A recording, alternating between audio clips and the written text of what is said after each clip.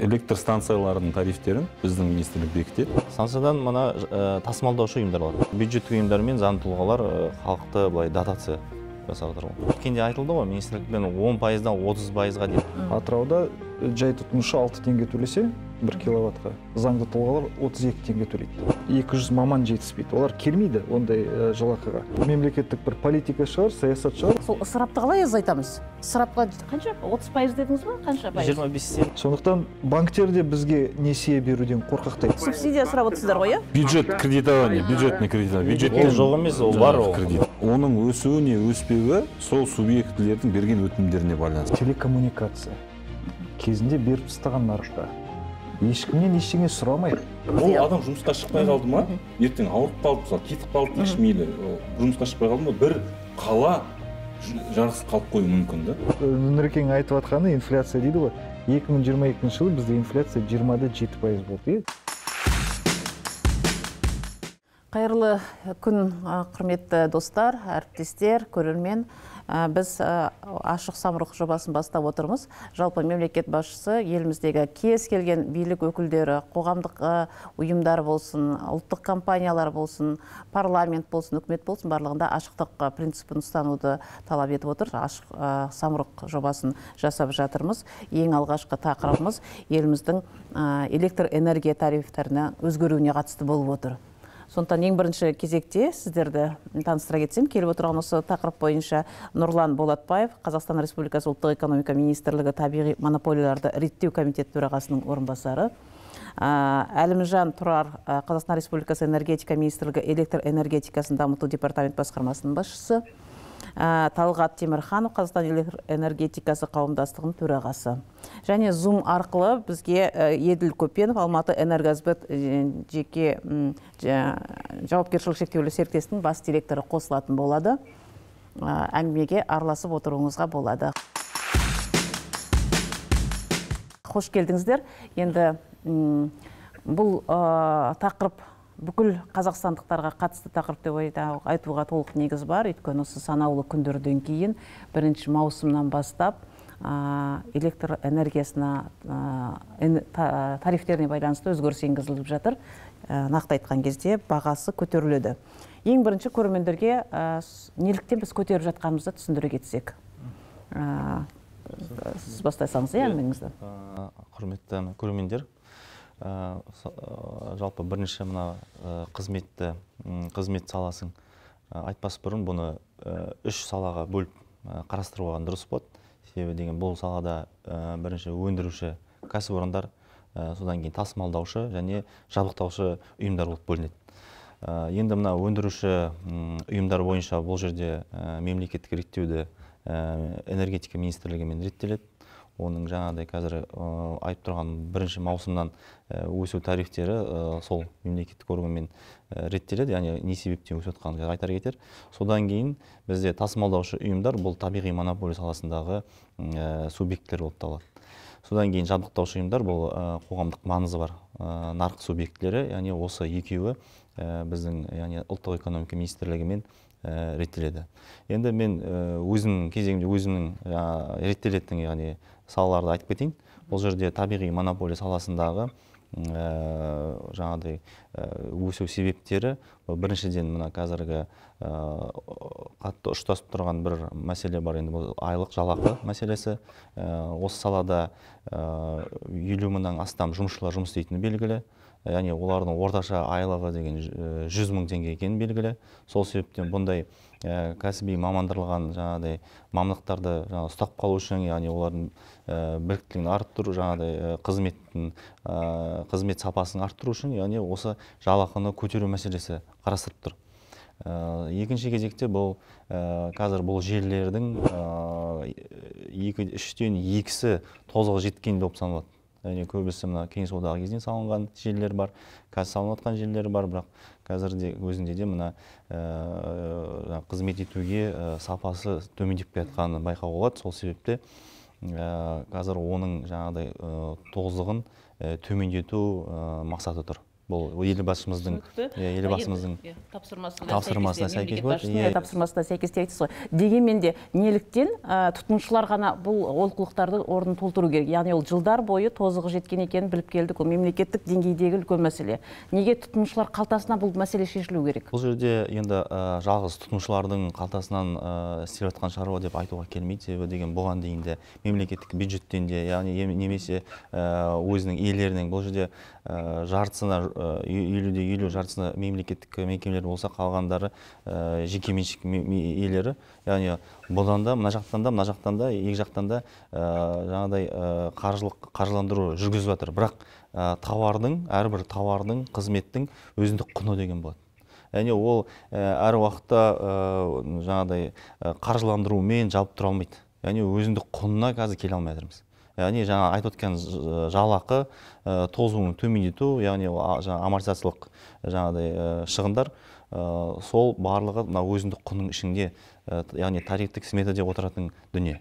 Сол себептен бұны қазір қарастырылмаған яғни соның ішінде шығыны жетпейтін жаңағыдай табыстар осындай салдарға алып келіп отыр. Сондықтан да бұны қазір өсіру өзіндік құнның мына келтіру яғни өзінің деңгейіне келтіру жұмыстары. Бұл ә, түсінікті. Бұл шешім министрлік деңгейінде қабылданды ма? Әлде ә, үкімет ә, шешімімен қабылданды ма? Негізі министрліктің ұсынысымен ғой иә? Тарифтің иә өзгеруіне. тарифтің өзгеруі. Негізі жаңа нұрекең айтып кетті ғой ә, электр станцияларының тарифтерін біздің министрлік бекітеді. Ә, ол ол біздің министрліктің қалауымен болмайды. Ол нәрсе деген ә, табиғи монополия секторы болсын біздің электр энергетика станциялары электр, станциялары болсын олардың ұсынымдары келеді өтініштері келеді. Сол өтініштеріндегі ә, негіздемелерін тексереміз біз. Негіздемелер орынды бол- болған жағдайда біз оған келісіп сол тарифтерін көбейтуге ә, рұқсат береміз десе де болады. Ә, бұл бірінші мәселе. Негізгі мәселе жаңа нұрекең айтып өтті ғой сектордың қалай бөлінетінін жаңағы өндіруші ұйым бар тасымалдаушы ұйым бар жабдықтаушы ұйым бар дегендей. Негізгі бір түсіну керек мәселе жаңа сіз айтып отырсыз ғой елдің қалтасынан кетіп жатыр деген мәселе. Бұл әр ә, нұрекең басына ашып айтып кетті негізі. Бұл әр нәрсенің өзінің құны болады деген нәрсе. Ол тариф деген не нәрсе? Тарифтің ішінде ол көмірдің бағасы бар ол ә, жаңағы жалақының бағасы бар ремонттардың бағасы бар дегендей. Егер де біз ол, ол қаражатты бермейтін болсақ бөлмейтін болсақ біз ә, не ремонтсыз қаламыз не ә, көмірсіз қаламыз. Көмір мен ремонтсыз қалған жағдайда онда ә, кім ұтады ол, ол ситуациядан ешкім ұта алмайды. Халық светсіз қалады немесе жылусыз қалады тағысын тағы дегендей. Сол себептен ә, атап өтетін жағдай мынау біздің электр станцияларындағы тарифтердің ә, шеткі тарифтердің алпыс пайызға дейінгісі вот сол тарифтің ішіндегі құрамдас бөлігі алпыс пайызға дейін ол көмір болып табылады. Яғни ол қырық пайызы ғана жаңағыдай ә, сол жерде жұмыс істейтін жұмысшылардың ә, жалақысы одан кейін ремонттарға ғана қалады. Өзіңіз ойлай беріңіз ең үлкен бөлігі ол көмірдің бағасына тікелей байланысты. Көмірдің бағасы қымбаттаған жағдайда өзімізде өндіріледі. Бірақ оның бағасы реттелмейді. Қазіргі таңда көмірдің бағасы реттелмейді. нарық субъектілері ә, ол сөйтіп қабылданған заң жүзінде ә, оның тарифін ешкім бекітпейді. Ол ертең мысалы өзінің ә, жаңағы өндіріс кен орнын модернизация жасаса оған да қаражат керек. Ә, табысын үлкейткісі келеді дегендей ондай мәселе біз ол жаққа енді кіре бермейміз.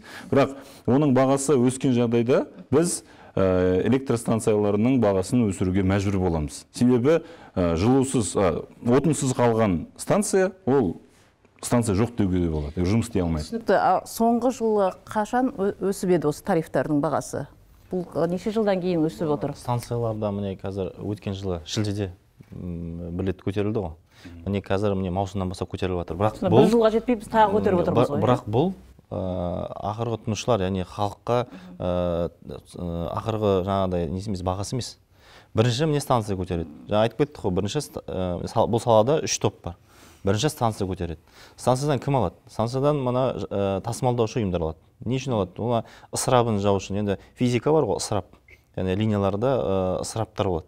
Сол ә, ысырапты жабу үшін яғни ол где отыз пайыз ә, бүкіл шығындардың ішінен бір жиырма бес отыз пайызға дейін жетуі мүмкін. Иә сол ысырапты жабу үшін сатып алады. Екінші жабдықтаушы ұйым яғни халықтар халықты қамтамасыз ету электр энергиямен қамтамасыз үшін сатып алады. Міне станция көтерді бағасын содан кейін мына ә, табиғи монополия субъектісі мен қоғамдық маңызды субъектілері міне ұлттық экономика министрлігіне бізге шығады. Бізге тарифті көтеріңіздер деп иә. Міне сол сол жобамен шамасымен біз деген ә, шілдеде өткенде министр айтты. Шілдеден бастап міне ә, тариф өсуі мүмкін деген. Бірақ ол деген нақты емес. Ә, электр жабдықтаушы ұйымдар кейінде де шығуы мүмкін. Яғни ә, бізде ә, аумақтық ә, жаңағы мемлекеттік органдар бар.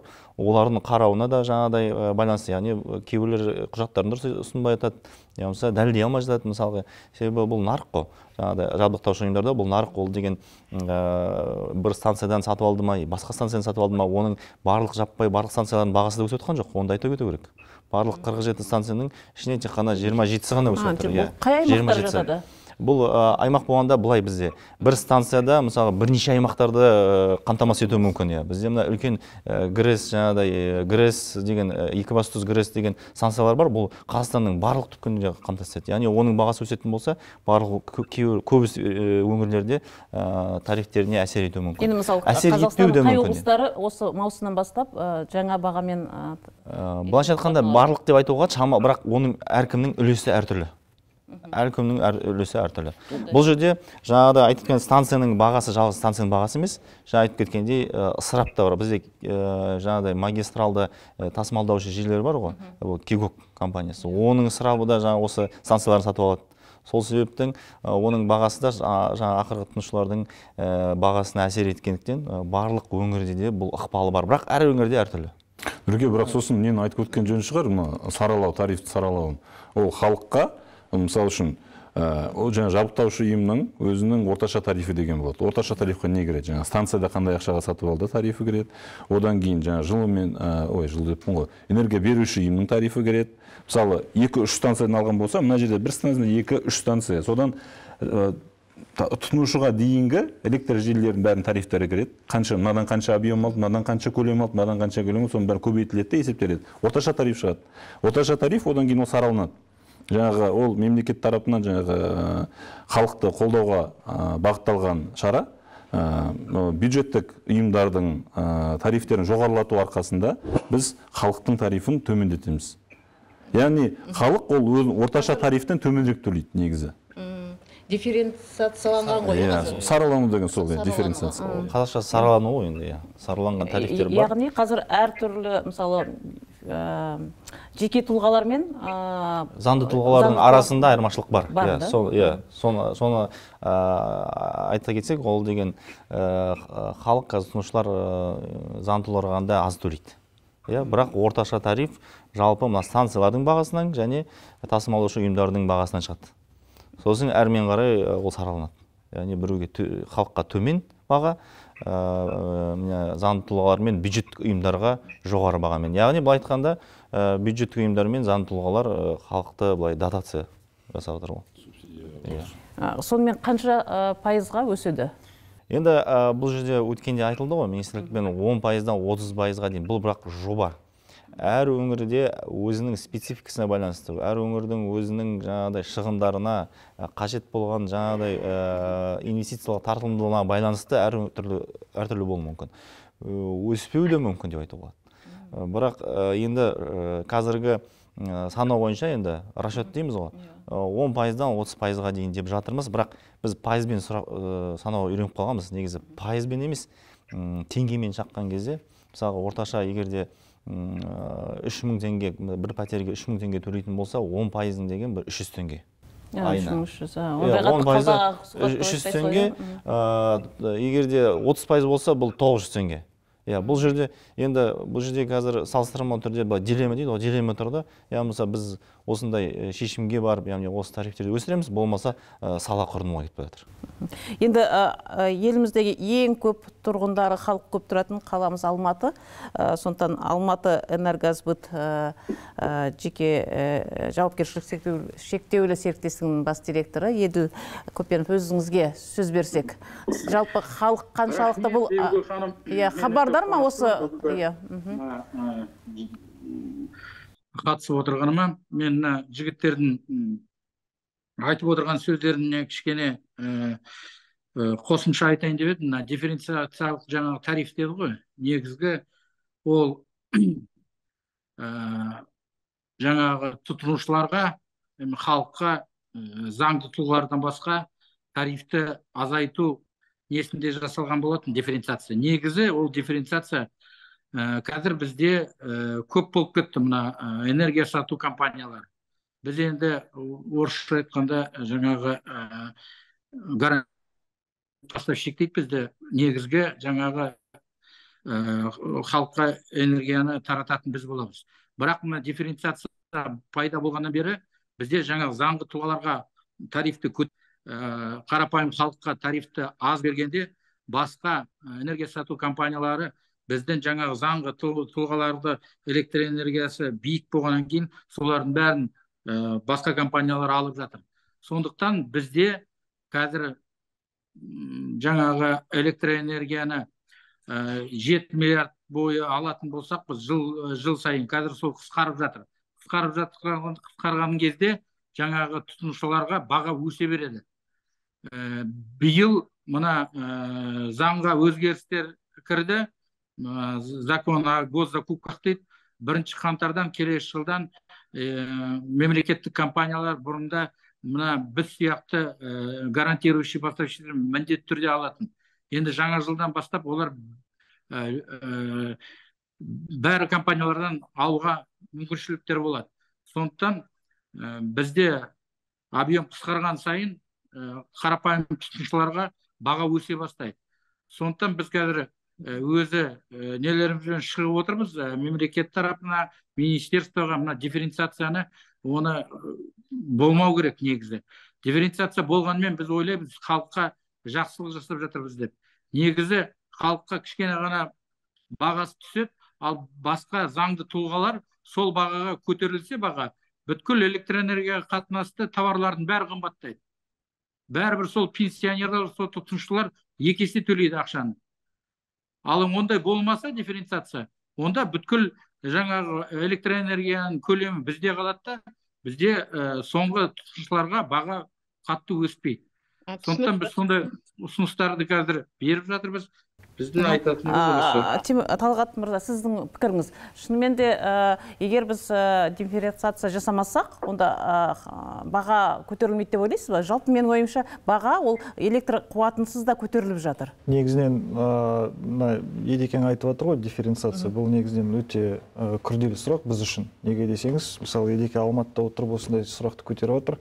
Ал енді бұл дифференциацияның жалпы өте қиын енді жағдайы атырауда. Атырауда жай тұтынушы алты теңге төлесе бір киловаттқа заңды тұлғалар 32 теңге төлейді. Бюджеттік организациялар 46 теңге төлейді.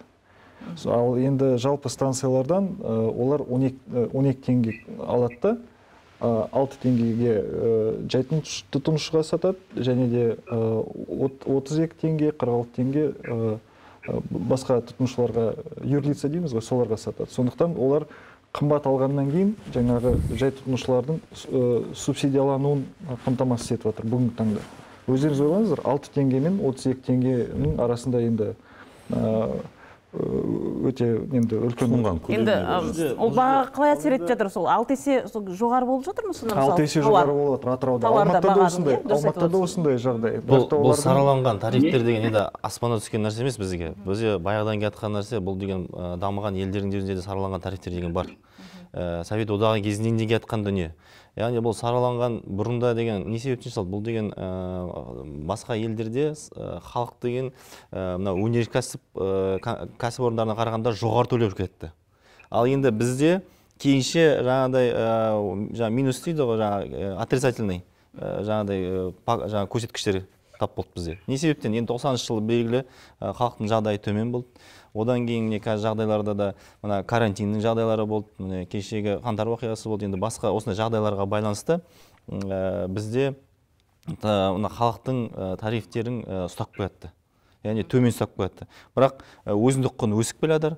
Кәсіпорындар өзінің жаңағы жұмысын кәсібін жалғастыру керек. Сол себепте тек қана бюджет ұйымдары мен заң тұлғалары ғана ә, біршама өсіп келіп халықтың тарифтері артта қала бастады сол атырауда айтып жатқаны атырауда бітіріп кетсем бола ма?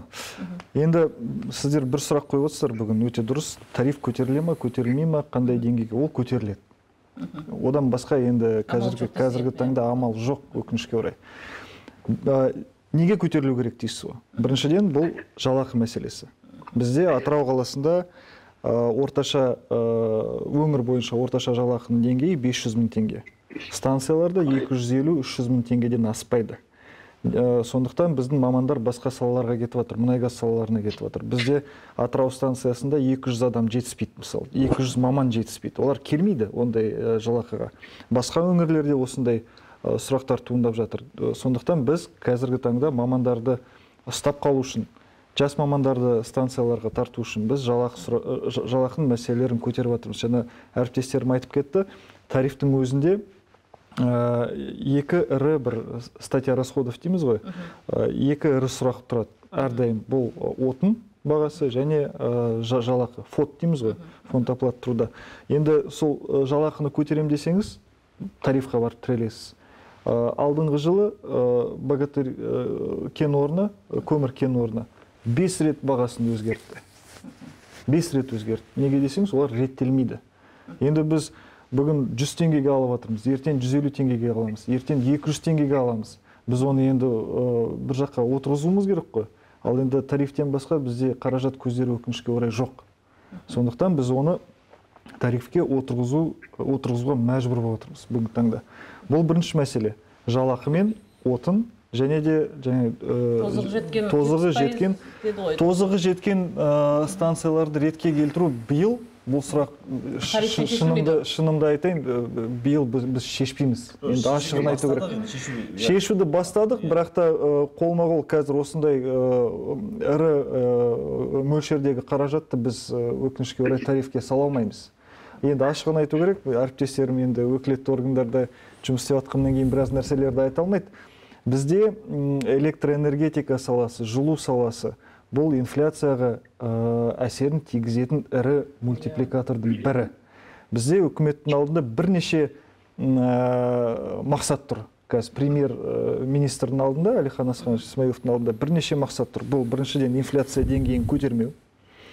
Екіншіден ә, мемлекет басшысы айтып кетті ғой ә, инженерлік техникалық мамандықтарды көтеру қалай көтереміз? Жаңағы ә, жұмыс орындарының иә жалақыны көтеру сол қызықты ету, ету керек. Ә, бұл екінші мәселе. Үшінші мәселе тозу деңгейін 15 пайызға ә, 2029 жылға дейін 15 пайызға дейін кем болғанда 15 пайызға дейін түсіру. Осы үш ә, осы үш міндетті қалай атқарады ол? Мақсатты қалай атқарады? Ә, тарифті көтере бастаған кезде мамандарға жалақы тө- төлеу үшін көмірдің бағасын істеу үшін ә, жөндеу жұмыстарын істеу үшін тарифті көтерген кезде инфляцияға барып тіреледі. Инфляцияның мысалы биыл ә, төрт жарым деді ма төрт жарымнан аспау керек. Осы төрт жарымнан аспас үшін бізді ұстап жатыр қазіргі таңда. Сол енді шындығын айтайық. Бұл бірінші мәселе. Екінші мәселе біз биыл осы жалақыларды көтереміз деп инфляцияның деңгейіне жақындап қалдық. Шындығын айту керек. Бізде ә, жалақыны көтерген кезде жұмыс ә, жөндеу жұмыстарына ақша жетпей қалды. Оларға ақша беру үшін тағы да тарифке қосу керек. Ал енді ондай мүмкіншілік өкінішке орай бүгін жоқ. Енді бұл әрине бұл енді мемлекеттік бір политика шығар саясат шығар осылай енді жұмысты жүргізу. Бірақ та біздің ойымызша біз ә, мысалы ә, бірінші қаңтарда мемлекеттік органға Ми- минэнергетика дейміз ғой энергетика министрлігіне. Өзіміздің заявкаларымызды жаңағы ә, шектік тарифтерді көтеруге өзіміздің ә, заявкаларымызды бердік. Бірінші ә, қаңтардан бастап бізде жаңа тарифтер болу керек тұғын. Болған жоқ. Неге десеңіз қаңтар сосын мәжіліс депутаттарының сайлауы электоральный период дейміз тарифтерді стандарт деді. Ал енді бүгін ә, маусымға жақындап қалдық. Жарты жыл өтіп кетті. Жөндеу жұмыстарын істеу керек. Бізде ақша жоқ. Біз ескі тарифтермен өмір сүріп жатырмыз осындай бүгінгі жағдай. қауымдастықтың енді сіз ә, төрағасы ретінде ашық айта аламын дедіңіз ғой. Ә, жалпы осы жылдар бойы неге тозығы жеткенше біз ұстап отырдық? Жетпіс пайызға дейін бұрын неге жасалмаған деген сіздер сұрақ көтеріп едіңіздер ме мен былай айтып көрейін. Бізде негізінен ә, энергетика саласындағы ә, станциялардың жасы орташа жасы елу жылдан асып кетті. Бізде отыз төртінші жылдары салынған станциялар бар елуінші жылдары сал кезінде енді оларды лениннің электрификация ма деген Иә, мәселесінен шыққан оларды жөндеп жөндеп жөндеп. Бүгінгі таңда біз осы 30 жылда бір станция салған жоқпыз. Сол станциялардың арқасында электроэнергиямен жылуды қазақстан бойынша қамтамасыз етіп жатырмыз. Жаңа станция салынған жоқ бізде. А, енді әрине э, енді жетті. Олар жөндеуден өтіп келе жатыр ғой жылдар бойы иә? жөндеуден өтіп келе жатыр жыл сайын. Ал енді мына өздеріңіз ойлаңыздар мыс- мысалы бізде ә, біз қондырғыны 2021 жылдың бағасын алатын болсақ біз, біз энергетика саласының ә, саласында біз қондырғыларды сатып аламыз ғой. Ә, запчасти дейміз оборудование дейміз. Енді 2022 жылмен салыстырсақ 2021 жылмен 50 пайызға дейін қымбаттап кеткен қондырғыларымыз оборудование запчасти неге десеңіз металлдың бағасы шарықтап кеткен.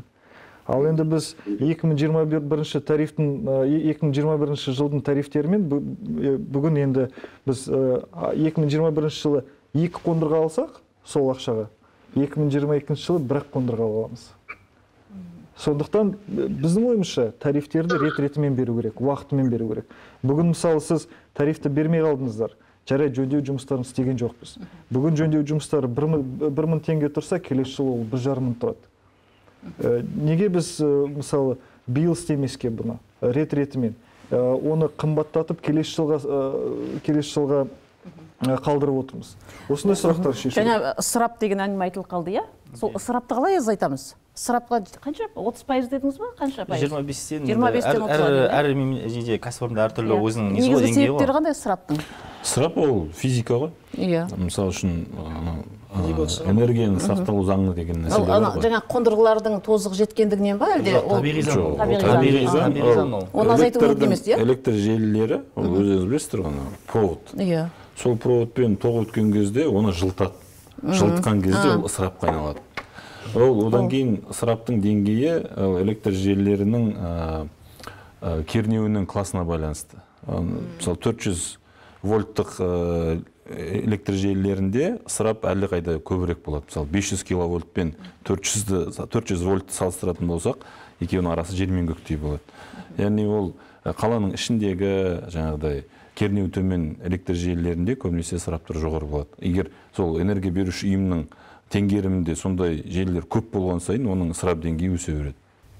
Енді мысалы әлемдік халықаралық деңгеймен салыстыратын болсақ мұндай деңгей осы отыз пайыздық басқа елдерде де сондай ма? Әлде тек қана қазақстанда біз шығындай, шығынды айтып отырмыз тек Иә. қана. Сол бұл жалпы барлық шығындардың ішінде мысалы сондай пайызды құрайды деп жалпы алғанда ол он екі он он бір он екі пайыз ғой ысырап жаңағы тасымалдау жақында, бізге бір ә, жаңағы бір агентство бар USAID деген. Ә, жаңағы американың америкалық ұйым өзге көмек көмек көрсетеді жаңағыдай ә, неше түрлі зерттеулер жасайды дегендей сондай сабақтар өткізеді.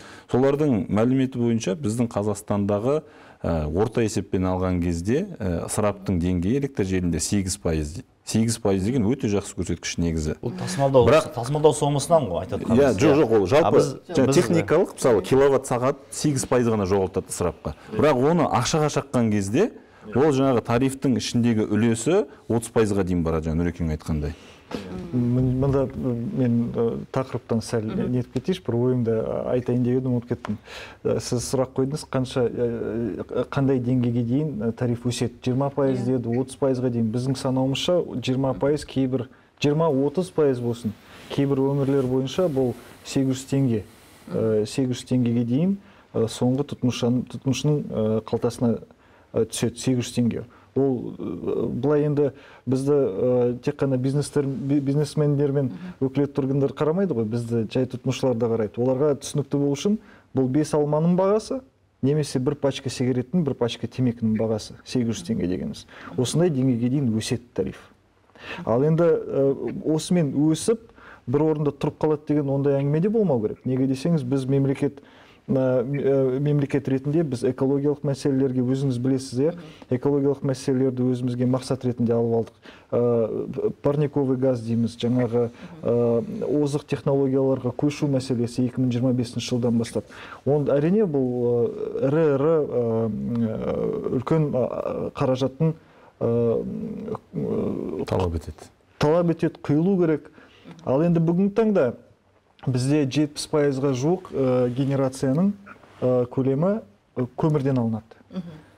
Біз э, көмірді 2040 жылдан бастап қысқартамыз деп жатырмыз. Әрине банктер экологиялық тұрғыдан иә. экологиялық тұрғыдан ұлттық экономика министрлігі жаңағы көміртектік стратегияны қабылдады екі ай ма үш ай бұрын. Сол сол стратегияның аясында біз көмірден бас тартуымыз керек деген ма- мақұлдама істеді.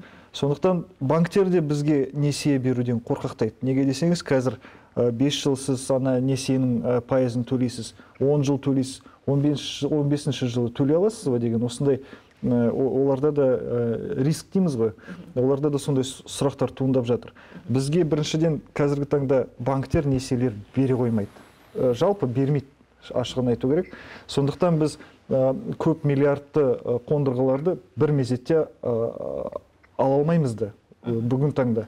Ал алсақ ал алсақ біз э, шетел валютасында э, алуға мәжбүр болып жатырмыз ол это валютные риски дейміз ғой девальвация неше түрлі. Сондықтан біз осындай рисктерді сол тарифке де салуға мәжбүр болып сондықтан тариф те өсіп жатыр ал егер біз теңгеден алса теңгеден алатын болсақ теңгеге сатамыз теңгемен береміз қайтарып банкқа.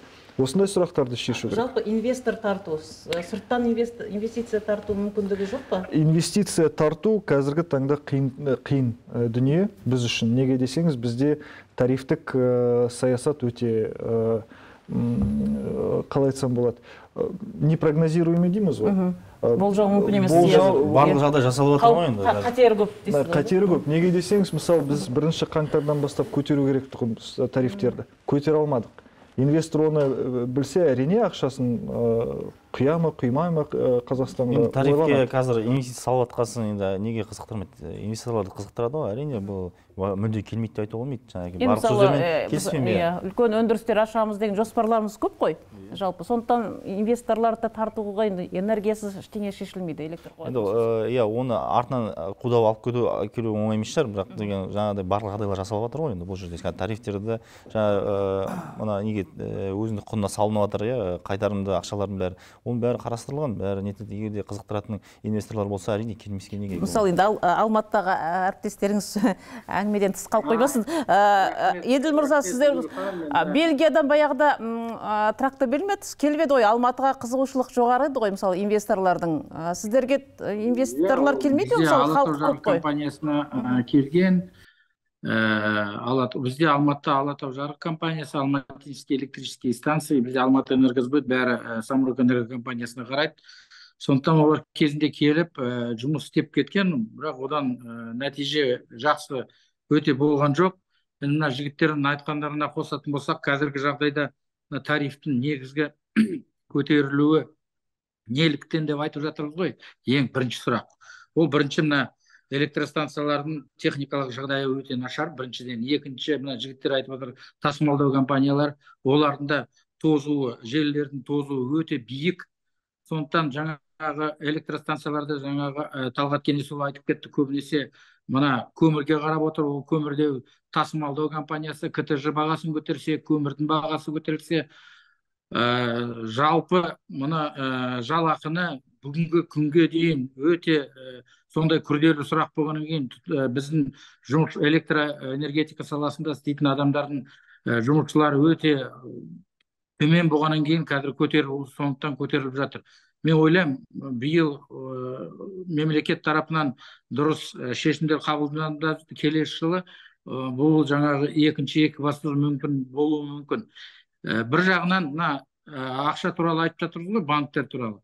Ә, бұл біз банктерден екінші категориялық банктерден ақша алып жатса мына компаниялар бәрі онда ол банктарға төлейтін пайыздың бәрі жаңағы тарифке кіреді. Мемлекет тарапынан бір ә, сондай бір ә, ақшалар бөлініп жатса онда тариф аз болушы еді кішкене.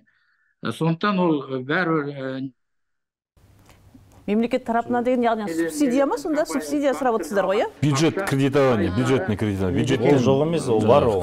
Қанша пайыз басқа бюджеттік басқа өңірлерде жоқ қазір айту қиын себебі қазір тек қана міне қарастырылып жатыр иә салынып жатыр. Әлі тариф те өскен жоқ қой барлығында өңірде. Бірақ қарастырылып жатыр кейбір өңірлерде мына жергілікті немесе республикалық бюджеттен ақшалар бөлініп жатыр. Мына инвестиция салуға тозығы жеткен кәсіпорындарды жаңағыдай тозығын төмендетуге одан басқа бізде деген мына не астп дейді ғой жаңағы көмек ә, яғни ә, тұрғын иә иә.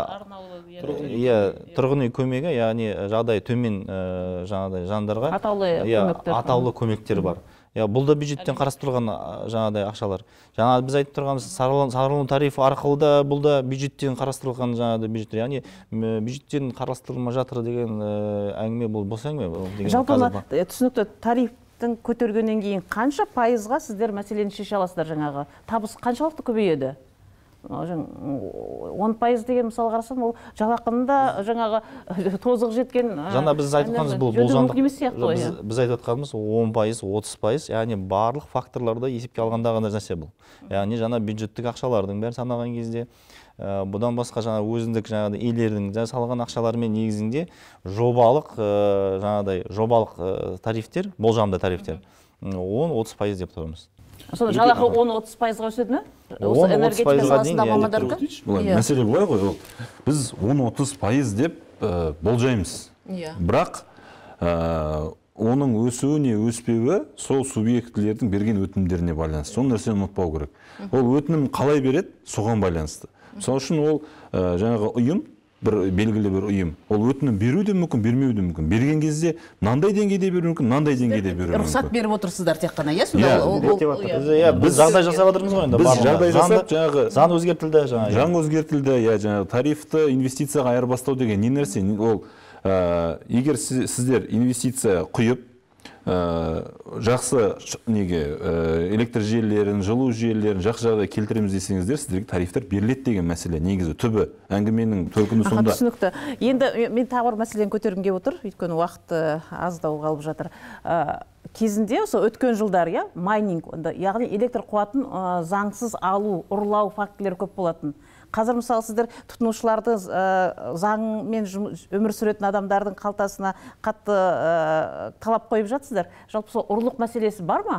Ұрлық мәселесін қалай шешіп жатырсыздар еш жерде ә, тіркелмеген мысалы ол эне- энергияның көп қуаты кетіп жатқан ұрлықпен кетіп жатқан жоқ па? Ұрлықтың мәселесі ол ә, жергілікті энергия беруші ұйымның ә, Өз проблемасы. мойнындағы мәселе. Себебі ол ұрланған жағдайда ол ә, кімнен ұрлап отыр?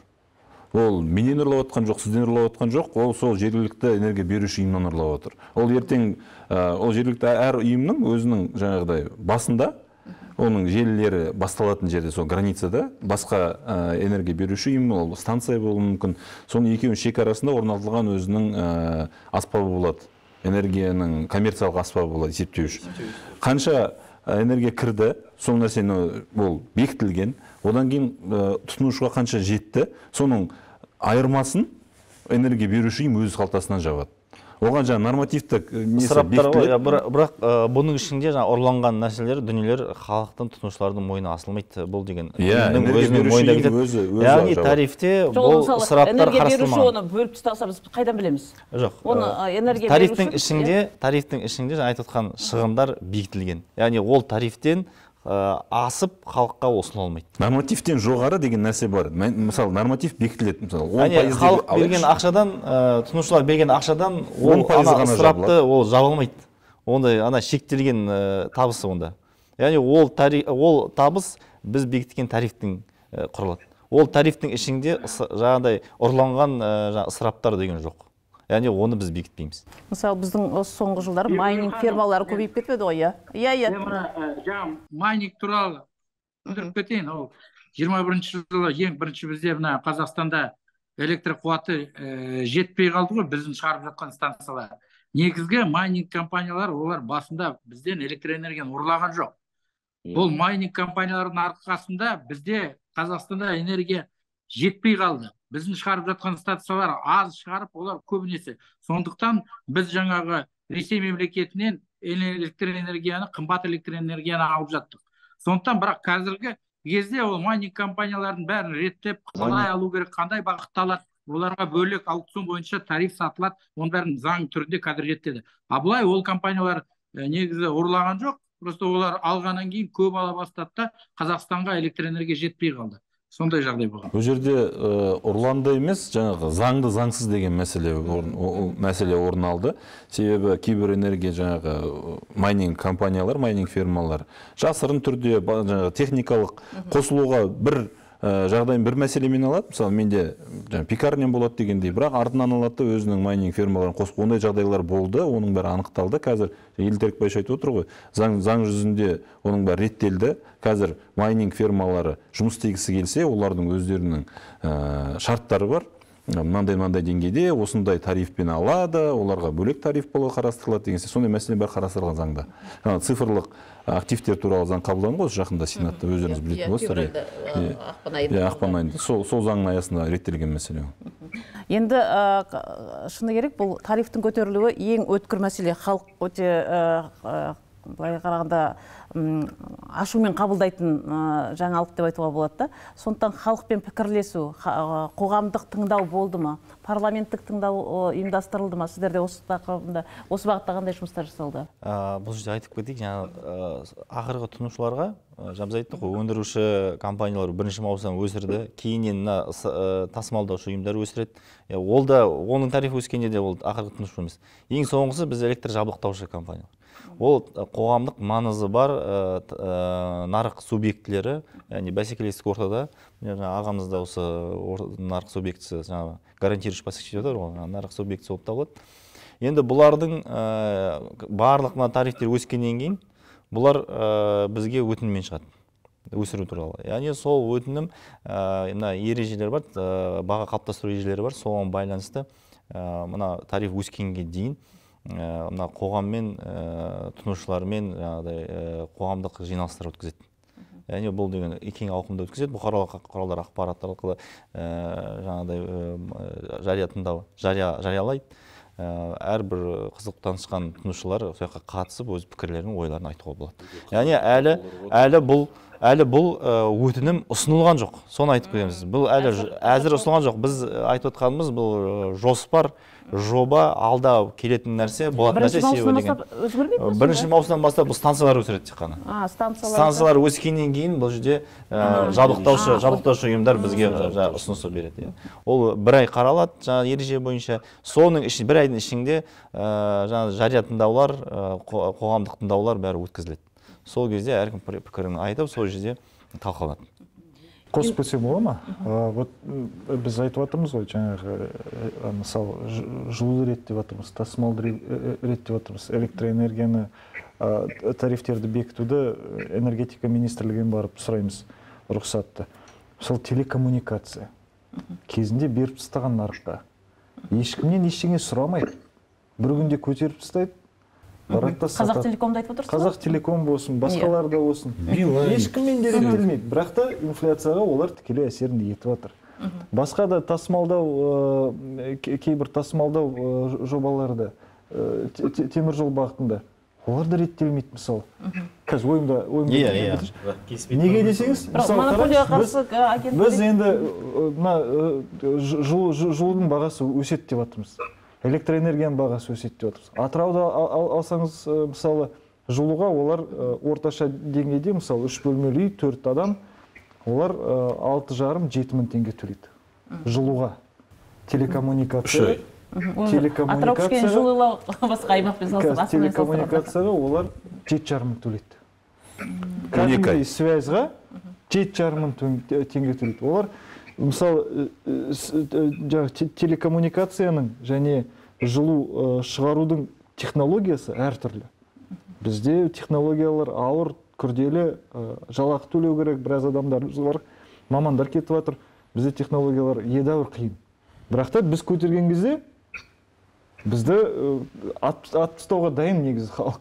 Неге ал енді телекоммуникация көтеріп жатса ешкім үндемейді. Көтереді. Ә, бәрібір де шынымен де ә, былай қарағанда адамдарға түсіндірме жұмысы аздау бәрібір. Бізде неліктен көтерілетінін біз адамдарға түсіндіру керек иә. мысалы э, э, бізде де мысалы мамандар бар. Ол мамандардың артында екі баласы бар бір әйелі бар бір жұбайы бар дегенде иә. Олардың да артында э, жанұялар тұр. Оларға көтермесек олар кетеді ресейге кетіп жатыр мұнай газ компанияларына кетіп жатыр. Ертең кім істейді сол станцияларды? жақсы салыстырма айттыңыз шынымен де біз ә, интернеттен ә, немесе ә, байланыс телефоннан ақшаны аямаймыз. Бірақ электр энергиясына келген кезде жаңағы шынымен де үнемдеп бастаймыз. Иә қымбат сияқты қалды иә. бұл жерде бұл жерде бәсекелестік орта ғой.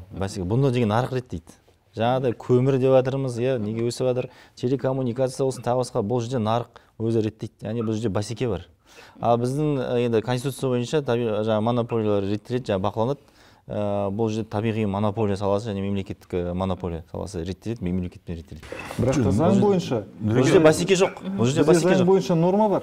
Егер станция мысалы көмірді қымбат алып жатса газды қымбат алып жатса бүкіл шығындылар тариф арқылы өтелуі тиіс деген заң жобасында за- заңда осындай норма бар. Көмір бес мың тұра ма? Сол бес мың теңгені мен апарамын да тарифқа салуым керек. Көмірді көп айттық та сол кө- көмірдің ә, бағасын реттеуде қандай жолдар бар? Бұл жерде- заңдық тұрғыдан оны да реттейміз реттеуіміз керек. көмір өнеркәсібін де жоғалтамыз құртамыз. Неге десеңіз көмір өнеркәсібінде де біз белаздар алып жатырмыз катерпиллер алып жатырмыз олар жылдан жылға қымбаттап бұл жерде бұл жерде былай ғой станция мына бір компаниядан алғысы келсе алады алғысы келмесе басқа станция алады. Бұл жерде жаңағы бәсеке орта ғой бұл нарық реттейді. Мысалы мына қымбаттатып жатса негізсіз көмір бағасы. Онда басқа компания өзінің бағасын төмен қылып сатуы мүмкін ғой. Мынау айырылып қалмас үшін жаңағыдай тұтынушылардан ол да бағасын төмендетеді. Яғни бұл жерде нарық бар. Ал біздің айтып жатқанымыз бұл э, табиғи монополия саласы. Яғни бұл жерде бәсеке жоқ. Мемлекеттік жаңағыдай э, монополия табиғи монополия немесе жаңағыдай үлесі жоғары монополиялар. Үлесі жоғары мо- монополиялар мына жерде станциялар бізде. Бұлар да жерде- бәсекелес бәсекелестік ортада. Станциялардың өздері бәсекелестік ортада. жаңа тәкенің сөзін толықтырып өтейінші сіз бұл жерде ә, сізге айтылып отырған не сын емес бұл? Просто мәселе былай ғой халықтың қабылдауында да. Мысалы үшін ол ә, халық жаңағыдай ә, отопительный сезон мысалы қыстық кезеңде үш төрт ай мысалы үш төрт мың теңгеге ә, әр пәтер мысалы астанада үш төрт мың теңге шығады. Өзім өзімнің немен квитанциямен айтып отырмын мысалы төрт мың теңге ә, менде ә, бізде астанада ұзағырақ қой енді бір бес ай дейікші. бес ай төрт мың теңгеден төлеймін мен жылуға. Сіз бір бөлмелі үйде тұрасыз ғой деймін а бір бөлмелі үйде тұрасыз екі бөлмелі үйде тұрамын төрт мың деген аз екен білмеймін енді сонда біздің мүмкін үйдің үнің үнемдеулігі мүмкін бұларда не асфальт не общедомовой прибор. иә жалпы үйлік атп бар бізде атп бар оларға арзан түседі сосын төрт мың теңгеден қараңыз бес ай төлеймін жиырма мың теңге төледім да бір жылдың бір жылдың ішінде. Ол жиырма мың теңге бүкіл астананың тұрғындар жиырма мың ну, сол бес ай бойы төледі. Сол ақшаға электр станцияларын жөндеу керек электр желілерін жөндеу керек ә, жыл он екі ай зарплата төлеу керек дегендей мәселелер шыға береді. Оның ішінде өте күрделі мәселелер көп. Екінші жаңағы ә, тәкең мысалын толықтыра кетейін дегенім ғой. Ә, жаңағы ә, байланыс. Байланысқа сіз он екі ай бойы төлейсіз. Он екі ай бойы мен он екі мың теңге ма сондай шығады қазақ телеком жаңағы интернеті бар анасы бар мынасы бар. Он екі мың теңгені он екі айға көбейткенде қанша қанша теңге шықты? екі жүз қырық мың теңге шығып кетті. Иә. одан бөлек мобильный интернет бар тағы. Иә. сіз телефонға әр адамға ұялы байланысымыз иә. төрт мыңнан. Ойлаңыз ә, сіздің жанұяңызда бес адам алты адам болса әрқайсысына төрт мың бес мың теңгені төлейсің да оны үндемей төлеп отырмыз. Себебі интернетке жабысып қалғанбыз. Интернет керек сияқты да. Ал ана жақта тұрған электр ә, станциялар бар электр желілері бар сол жерде жұмыс істеп жатқан елу елу алпыс мың теңге жұмыс істеп жатқан адамдар бар мысалы үшін да. Ертең бір күні адам шықпай қалсын. Мен сол осы мысалды өте қатты жақсы көремін негізі өзім. Электр ә, желілерін ә, кигоктың подстанциясында жұмыс істегенмін негізі басында. Сондағы көрген жұмысымыз ә, былайша айтқан кезде сол жерде жұмыс істеп жүрген адамның еңбегін бағаламауымыз ғой бір жағынан. Еңбекті Иә, бағаламай отырмыз ол иә. адам жұмысқа шықпай қалды ма? Ертең ауырып қалды мысалы кетіп қалды дейікші мейлі ол жұмысқа шықпай қалды ма? Бір қала жарықсыз қалып қоюы мүмкін да. А басқа мысалы футболисттер бар тағы тағысындағы неше түрлі мамандықтар бар енді ғой тағы бір үлкен мәселе мысалы бәрібір де қазақстан халқы өте көп емес мысалы қытаймен ресеймен салыстырсақ та. Айналып келген кезде тарифке ғана байланып тұрғанымыз ол ә, мәселені шешпейтін сияқты. Өйткені енді қанша он 19 миллион халқымыз бар оны оны әрбір үймен есептеген кезде тарифтен қанша қа- қаражат жиналады тұтынушылар? Сәйкесінше өндіріс- өндіріс те иә. сәйкесінше ғой өндіріс көбеймей тұр ғой бізде өндіріс көп емес қой. Ол өндірісі де сәйкесінше ғой енді. Халыққа байланысты тұтынушылардың санына байланысты өндірісі сәйкесінше. Қытай халқы басқа елде оларда өндірісі үлкен жоғары. Иә. олардың да өзіндік құны бар. Ең, қызығы біз мына экибастузда авария болды иә мысалы апат болды техногендік мен енді екібастұзда да болдым сол кездері. Қазіргі ә, қазірде басқа қалаларға барып жүрмін. Ә, жалпы адамдармен ә, енді сө- сөйлесуге ә, стараюсь дейді ғой да?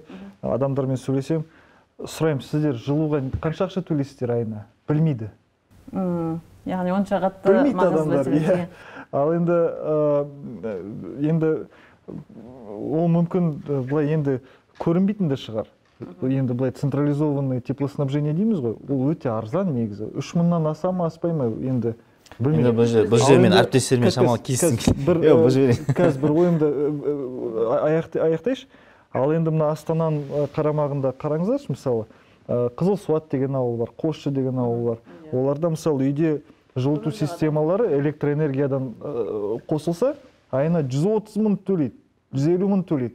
Әрине ә, біліне бастайды иә? Уже счетты қараған кезде 150 мың ә, бір ретте төлей бастасаң. Ал енді үш мың төрт мың ә, теңгені көрмейді де кейбір халықтар. Енді бұл жерде келіспейтін бір мәселе енді бұл бизнес тарапынан сөйлеп жатыр ғой. Тариф қанша берсең де жетпейді жаңағы бұның алдында берген жоқсың. Қазір маған берсең де жаңағыдай инфляциядан аспайды дегенде мен реттеуші орган ретінде айтайын бұл жерде тариф я төмен я жоғары емес тариф негізделген. Яғни халық, халықтың тұрмыс жағдайына байланысты халықтың ә, төлем қабілетіне байланысты беріледі. Осы күнге дейін солай беріп келеді яғни бұрында берген тарифтерде сол негізделген тарифтер барлығы. Соны берген кейбір берген өзінде де кейде орындалмай жатқан жат- жағдайлар бар. Яғни сол берген шығындарды берген табыстардың өздері кейде жаңағыдай бағыты дұрыс болмай жатады кейде. Оны жаңа кеше прокуратура тексерген кезде анықтады ғой қандай қандай жағдайлар болғанын. Сондықтан да реттеуші орган ретінде біз айтамыз енді барлық беретін тарифтер бұл негізді тарифтер болады. Яғни қазір жағдайда біз түсінеміз айтып отқан мәселелер. Жал- жалақы көтеру керек. Ол айтылды кесілді. Оны елбасымыз елбасымыз айтып отыр. Енді қазір электроэнергия саласында енді шамамен жобасын деп жатырмыз елу пайызға дейін биылға деп жатырмыз енді ол елуге дейін енді иә. Отыз пайыз жиырма пайыз әр өңірде әртүрлі яғни пай- пайыз деп сөйлеп тағы да үйренгеніміз бұл жерде өзінің үлес салмағына да байланысты. Біреуде жиырма пайыз жүз мыңнан ол жиырма мың теңге үш жүз мыңнан жиырма пайыз ол басқа сома иә алпыс мың теңге. Иә ол пайызбен сөйлеуге де келмейді. Бұл жерде қазір статистикаға біздер деген жаңағыдай неттік. Ұштасып отырмыз. Статистиканың берген ә, бағасына байланысты ә, санына байланысты соған ә, баға ә, жалақысын келтіреміз. Жалақы бір жаңа тозу тозу жаңағы шынымен де ол да тозуға жеткен деп жатырмыз. Станцияның жаңағыдай ә, күші жетпей жатыр деп жатырмыз. Міне солардың мәселелерінен қазір баға негізделген болып келеді. Енді бір сұрақ қоя салайыншы аяқталды өт- өтініш нұрекеңнің айтып жатқаны инфляция дейді ғой. Екі мың жиырма екінші жылы бізде инфляция жиырмада жеті пайыз болды. Иә жиырмада жеті ма жиырмада үш па сондай жиырма жыл сайын жиырма пайызға жи- сол инфляцияның деңгейіне беріп жатса біз енді айлықта жиырма пайызға өскен жоқ қой енді халықтың ол ол да бар ғой. Ертең соңғы иә төлей алмай қалса онда сіздің кәсіпорындарыңыз неге не пайдасы бар? Онда ертең ә, жабылып қалып жатса төл- төлемеген төлемей табыс болмаса кәсіпорын жабылады онда. жұмыссыздық мәселесі басқа да әлеуметтік мәселелер көп шығып жатыр ғой. Шынымен де ертең ха- халық қаншалықты осы тарифті көтере алады сол мәселені де ұмытпауымыз керек сияқты. Енді мен сұрайын деген жалпы тұтыну көлемі соңғы жылдары өсті ме? Әлде кеміп келе жатыр ма электр қуатын. Өйткені өндіріс орындары шын айтқан кезде әзір біз қуанатындай ә, айтатындай көбейіп жатқан жоқ. Өсіп келе жатқаннан қазір станцияларда ә, жаңағы реконструкция ә, күштерін ә, қуаттарын арттыру жұмыстарын жүргізіп жатыр. Сол себептен ғой. Өндіріс тұтыну өсіп жатыр өсіп жатыр иә? Өсіп жатыр иә. Бар бар бар иә? Иә жаңағы пиковые часы дейді ғой. Мынау кешкі уақытта бүкіл халық халық тұтынады. Өндіріс орындары иә. өндіріс орындары иә, иә. тұтынады. сол тұтыну өскен ең жоғарғы шегінде бізде дефицит бар қазіргі таңда. Ол дефицит оның алдында болмаған. Яғни соңғы жылдары дефицит пайда ана болды. күндізгі түнгі деп бөл- бөлгеннен кейін оның бәрін бірдей қылып тастағаннан кейін осы дефицит пайда бола бастаған жоқ па? Жоқ жоқ ол дефицит жаңағыдай ең бірінші қатты дабыл дабыл қаққан кезіміз ол дефицит үшін жаңағы майнерлердің ә, тұтынуының күрт өсіп кетуіне байланысты болған мәселе. Бірақ одан кейін әлі де біз сол дефициттің жаңағы пик Орнын толтыру сағаттарында иә орнын толтыру үшін қазір ә, шара қабылдаудамыз. Ә, жаңағыдай рынок мощности дейді ә, қуат нарығында тарифтерді өсіріп жатырмыз. Ә, сосы дефициттен шығу үшін жаңа ә, жаңа өндіруші ә, станциялар соғып жатырмыз модернизацияға соған қаражат қарастырып жатырмыз қазір. Түсінікті. Енді э, заңдық тұрғыдан осы э, өткір мәселелерді одан сайын жеңілдету шешуді жеңілдету бағытына не жасалу керек? Соңғы сұрағым осы. Сіздер э, жаңа айтып жатсыздар ғой андай мәселелер мындай мәселелер. Мүмкін тағы да жетіспейтін тұстар бар ма? Осы ақпан айында электр энергетикаға байланысты заң қабылданды одан басқа тағы да. мен бір өзім осындай ойым бар. Нұреке енді ашуланып қалмаңыздар. Бізде негізі энергетика саласын қазіргі таңда төрт мемлекеттік орган реттеп жатыр. Шынымды айтайын біз мысалы станция ретінде энергетика министрлігіне барамыз. Олар бізге айтады мысалы олар бізге айтады ә, станцияны салыңдар көмір болсын газ болсын инвест программаларды енгізіңдер көрсетіңдер ә, біз сендерге қолдау көрсетеміз деп жатыр жақсы көмір станциясын салайын десек экологтар айтады экология министрлігі. Болмайды кө- көмірде салуға. Неге десеңіз бұл париждік келісімге сай келмейді. Біз көмірден бас тартамыз деген. Жақсы енді барып несие алайын десек несиені де бе- бере қоймайды қазір. Неге десеңіз оларда да күмән бар. Біз 10 жылдан кейін сол несиені қайта төлей аламыз ба төлей алмаймыз ба? Енді көмірден бізде енді біз бас тартып жатсақ көмірде ә, алынған электр энергияны біз сата алмаймыз тұтынушыға. Сата алмасақ қаражатымыз болмайды ана несиені ә, қайтару үшін. Осындай жағдайлар бар. Сосын енді ұлттық экономиканың ә, ми- министрлігінің ішінде бізде мына жылу сұрақтар қалып қойды. Ә, мир деген өкілетті органдар бар. Оларда жалпы ә, инфрақұрылымдық сұрақтар иә? Ә, жалпы сол инфрақұрылымдық саясат эн- энергия эн- энергоэффективность деген саясат сол мемлекеттік органда бізге бір мемлекеттік орган беріңдерші. Сол әрбір өкілетті органға жүгіре бермей бір сол энергетика министрлігіне барып өзіміз саясатымызды жүргізейікші. Сондай бізде сауал бар. Осыны шешіп берсеңіз. Рет- реттеудің иә үлкен мәселе қозғадық. Менің ойымша енді барынша көп сұрақтарға жауап іздеуге тырысып ә, жауаптарды естідік. Құрметті көрермендер әрине тарифтің өсуі ә, бүгінгі өмірдің заңдылығы болып отыр. Сондықтан да ең басты әрбір тұтынушы электр энергиясын үнемдеуді үйренуіміз керек. Үнемдеу ә, мәдениетін елімізде ә, халқымызға соны енгізгеніміз дұрыс деп ойлаймын. Жалпы электр қуатымыз елімізде көбейе берсін халқымыздың әл ауқаты жақсара берсін.